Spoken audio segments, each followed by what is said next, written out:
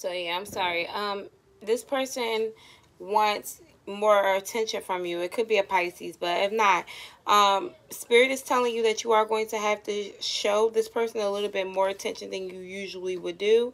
Maybe they're a bit insecure, and I know you like, well, I don't have time for that shit. But if you do like this person, because I see this is your energy and wanting to invest.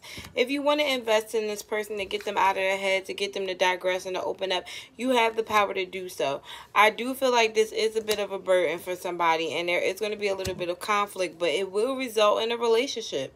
Okay? A stable one, a solid one, a good foundation, but you are going to have to rush into this person and tell this person how you feel because they're almost brokenhearted about the fact that they feel like you're not putting any effort in when you really could be making this person feel like this. All you have to do is show them a little love. Okay? Bye, guys.